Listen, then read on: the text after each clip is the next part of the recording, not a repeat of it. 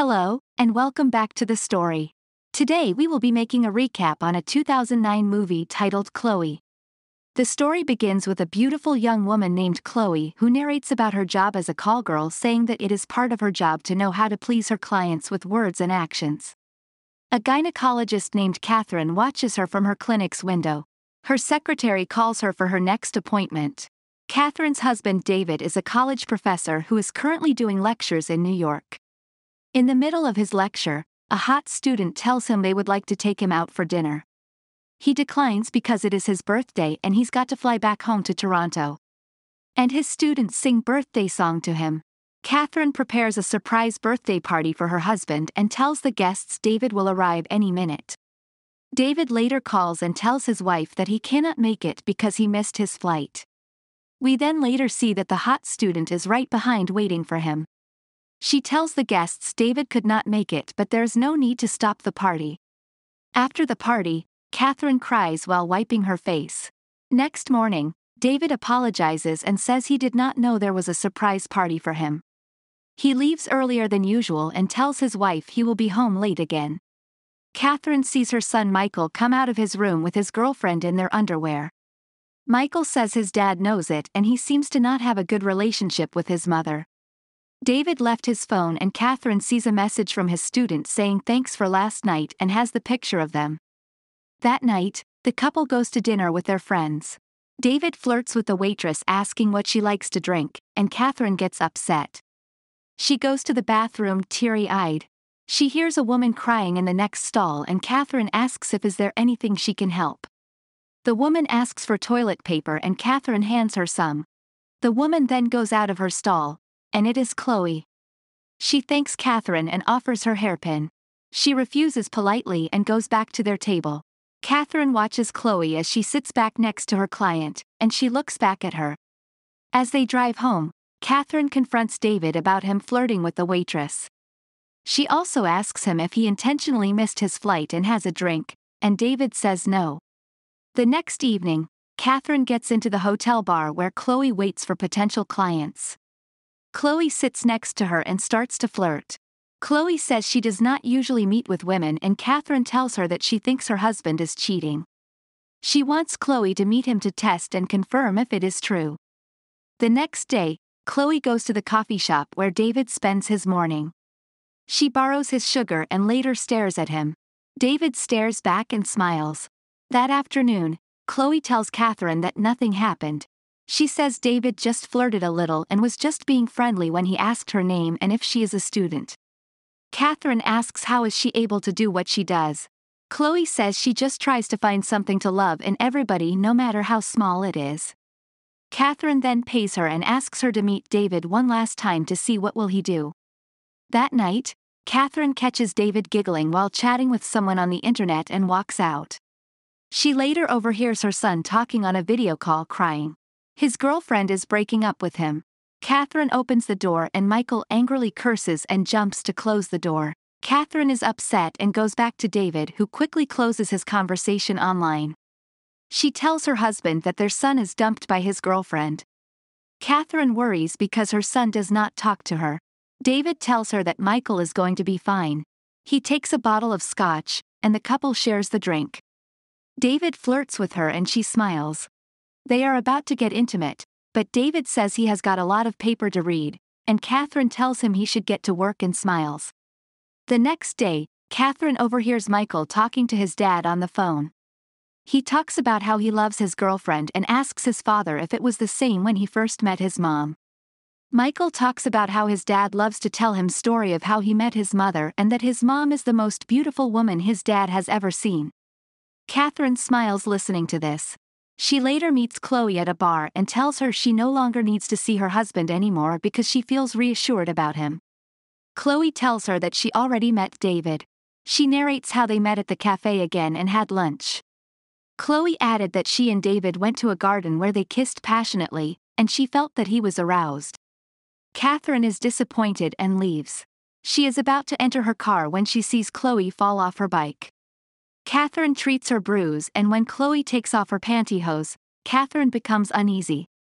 Later on that evening, Chloe narrates more details of her meetup with David. and she confesses that she gave pleasure to him using her hand. Catherine asks Chloe if she is clean of disease and she assures her that she is, and she will give her the test results. Catherine drives home crying and imagining what Chloe had told her.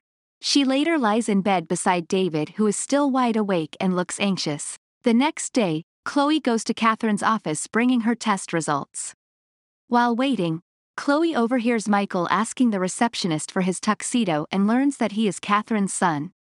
While copying sheets for his recital, Chloe approaches Michael and flirts with him. Chloe later gives the test results and reminds Catherine that she is meeting David again as they have agreed. Michael gets his tuxedo, and he is still cold with his mother as he leaves without even thanking her. While having lunch with her friends, Catherine receives a message from Chloe telling her the room of the hotel. Her friends notice her odd behavior and thinks that Catherine is having an affair and she denies it and leaves. At the hotel, Catherine enters the room and Chloe tells her that David slept with her there. Chloe narrates the details and instead of getting mad, Catherine starts to get aroused. She hands the payment to Chloe, and they later leave the room. Catherine tells how David and her used to be full of love before. She sits down and starts to cry. Chloe kneels down to console her, then she suddenly kisses her. Catherine is shocked and leaves. Later that evening, Catherine attends her son's piano recital and sits far from David. After the recital, Catherine sees her husband talking with a waitress. David approaches her and kisses her hands. A female student suddenly calls David, which made Catherine more disappointed, so she leaves. Catherine goes to the hotel and interrupts Chloe, who is talking with a client. The two go to a room where Chloe comforts her by kissing and caressing her all over. The two ladies are later humping. They then ride a cab home. Catherine asks Chloe not to see her husband again, before she leaves, Chloe offers her hairpin again and asks Catherine if she will see her again. Catherine could not answer and tells her that she is exhausted, then she leaves.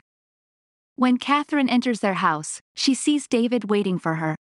He asks her who is she cheating with, and Catherine responds angrily telling him he was the one who cheated first. David yells saying he never had an affair. Michael interferes and they tell him to leave them alone and he angrily leaves. At her office, Catherine finds out she has several urgent missed calls from Chloe and an email that contains a picture of the two naked in bed. She quickly calls and asks Chloe where she is, and she says that she was just in her waiting room the whole time. She enters the office carrying flowers and Catherine locks the door.